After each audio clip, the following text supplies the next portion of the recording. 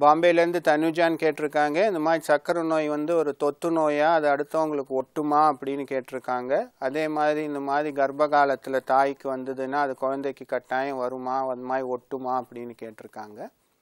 இப்போ இந்த நம்ம சக்கரை நோய் சக்கரை நோய் நம்ம பேசிக்கிட்டே இருக்கோம். ஆனால் இதை பார்த்தீங்கன்னா சென்ஸ் நல்ல சென்ஸில் எடுத்துக்கிட்டோம்னா இது ஒரு நோயே கிடையாது. இது வந்து ஒரு குறைபாடு. குறைபாடுன்னா டிஸார்டர் அதனால ஒரு குறைபாடு டிஸார்டர்னால் நம்ம உடம்புல ஒரு பர்டிகுலர் இது சரியாக வேலை செய்யலைங்கிறது தான் அர்த்தம்.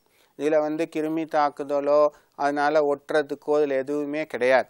அதனால் நிறையா பேர்த்துக்கு இந்த சந்தேகம் இருக்குது அதனால் நிறையா பேர் வந்து கேட்பாங்க இந்த மாதிரி நாங்கள் மாதிரி பெண்ணாக இருந்தால் நாங்கள் போய் பெண் பார்த்துருக்கோம். அந்த பெண்ணுக்கு சர்க்கரை இருக்குங்கிறாங்க. அதனால நாளைக்கு அவங்கள கல்யாணம் பண்ண பையனுக்கும் சர்க்கரை நோய் ஒட்டிக்குமோ? அப்படின்னு இந்த மாதிரி நிறையா ஐயத்தோடு கேட்குறவங்க நிறையா பேர் இருக்காங்க. அதே மாதிரி கணவனுக்கு சக்கரை நோய் இருந்தால் அவங்களுக்கு உடலுறவு கொண்டா பெண்களுக்கு ஆண்களுக்கோ வந்துருமா அப்படின்னு கேட்குறவங்களும் நிறைய பேர் இருக்காங்க. ஸோ அந்த மாதிரி பார்த்தீங்கன்னா இது வந்து ஒற்றை நோயே கிடையாது நோயே கிடையாது. இது ஒரு குறைபாடு. இப்போ இந்த டயபெட்டிஸ்னு எடுத்துக்கிட்டோம்னா அது ரெண்டு வகைப்படும். டைப் ஒன் டயபெட்டிஸ் இந்த டைப் ஒன் டயபெட்டிஸ் ஏன் வருதுன்னு பார்த்தீங்கன்னா அவங்களோட நம்ம உடம்புல இருக்க எதிர்ப்பு சக்தி நம்ம கணையத்துக்கு எதிராக திரும்பி கணையத்திலிருந்து இன்சுலின் உற்பத்தியை அழிச்சிடும். கணையம் செயல்படாது இன்சுலினை பொறுத்த வரைக்கும் டைப் டூ டயபெட்டிஸ்னு எடுத்துக்கிட்டோம்னா கணையத்திலேருந்து ஓரளவுக்கு இன்சுலின் உற்பத்தி இருக்கும். ஆனால் சரியாக வேலை செய்யாது.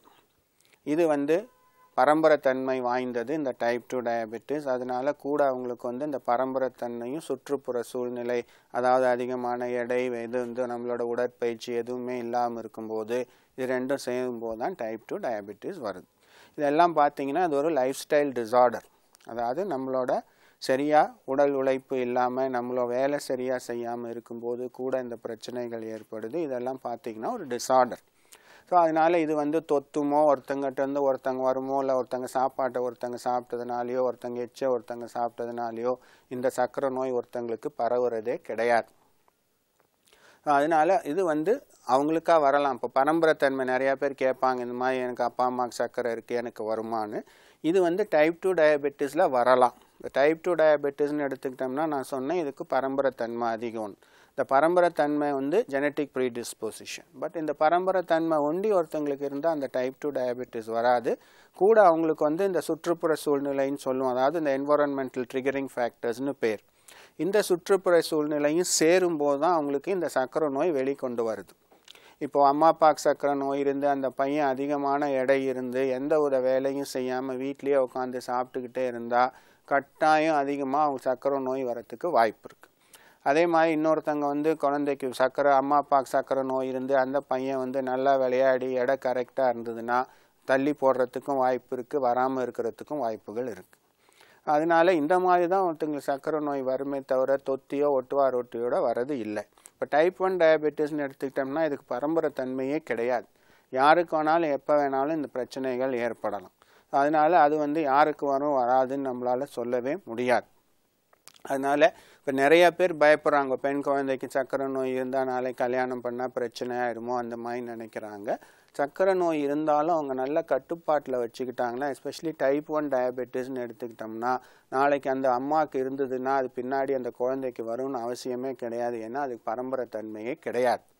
ஸோ அதனால அதை பற்றி பயப்பட வேண்டாம். இப்போ கர்ப்ப காலத்துலேன்னு எடுத்துக்கிட்டோம்னா அது ஜெஸ்டேஷனல் டயபெட்டிஸ்னு சொல்லுவோம். இப்போ ஜெஸ்டேஷனல் டயபெட்டிஸில் அது அம்மாவுக்கு சக்கரை நோய் இருந்ததுன்னா அதை நம்ம நல்ல கட்டுப்பாட்டில் கொண்டு வரணும். நல்ல கட்டுப்பாட்டில் கொண்டு வந்தால் பிற்காலத்தில் அந்த குழந்தைக்கு சக்கரை நோய் ஏற்படாது.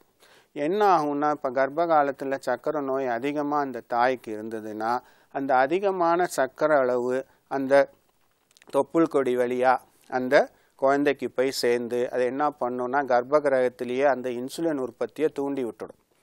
சாதாரணமாக அந்த குழந்தை வந்து வெளியில் வர வரைக்கும் கர்ப்பகிரகத்தில் இன்சுலின் உற்பத்தி பண்ணக்கூடாது. ஆனால் அதிகமான சர்க்கரை அளவு தாயிலேருந்து சேய்க்கு போகிறதுனால கர்ப்பகிரகத்திலேயே சர்க்கரை வந்து அதிகமாகிறதுனால இன்சுலின் உற்பத்தி அதிகமாகிடும் அந்த மாதிரி சமயத்தில் இன்சுலின் உற்பத்தி அதிகமாகிறதுனால குழந்தையோட எடை அதிகமாகுது. ஏன்னா இன்சுலின் வந்து அனபாலிக் ஹார்மோன் அதோட வெயிட்டெல்லாம் அதிகம் பண்ணும். அந்த மாதிரி சமயத்தில் ஒரு மூன்றரை கிலோவுக்கு நம்ம இந்திய குழந்தைகள்னு பார்த்தீங்கன்னா ரெண்டரைலேருந்து மூன்றரை கிலோ வரைக்கும் எடைக்குள்ளே தான் பிறக்கணும்.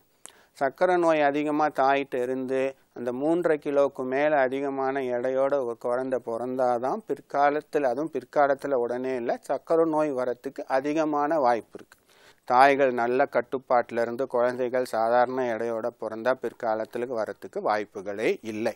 அதனால சர்க்கரை நோயை பற்றி நீங்கள் வந்து பயப்படக்கூடாது. அப்படி இருந்தாலும் நீங்கள் அதை நல்லா ஆரம்பத்திலேருந்தே கட்டுப்பாட்டில் வச்சிங்கன்னா எந்த பிரச்சனைகளும் இல்லாமல் பார்த்துக்கலாம் டைப் டூ டயபெட்டிஸ் அதே மாதிரி பெற்றோர்களுக்கு இருந்தாலும் அந்த குழந்தைகள் தனக்கு கட்டாயம் வரும்னு நினைக்காம வராமல் இருக்கிறதுக்கு என்னென்ன உண்டோ அதாவது நல்ல எடையோடு வச்சுக்கிட்டு நல்ல எக்ஸசைஸ் உடல் உழைப்பு எல்லாம் பண்ணிக்கிட்டு அவங்களுக்கு வந்து அவங்க உயரத்துக்கு ஏற்ற எடை. முக்கியமாக இந்தியர்கள் நம்ம எடுத்துக்கிட்டோம்னா இடுப்பு சுற்றளவு. இடுப்பு சுற்றளவு வந்து தொண்ணூறு சென்டிமீட்டருக்கு மேலே ஆண்களுக்கு இருந்தாலோ பெண்களுக்கு எண்பத்தஞ்சு சென்டிமீட்டருக்கு மேலே இருந்தால் அதிகமான சர்க்கரை நோய் வரத்துக்கு வாய்ப்புகள் இருக்குது எடையினாலங்கிறத ஆராய்ச்சி மூலியமாக இப்போ இந்தியர்களில் நிரூபிக்கப்பட்டிருக்கு.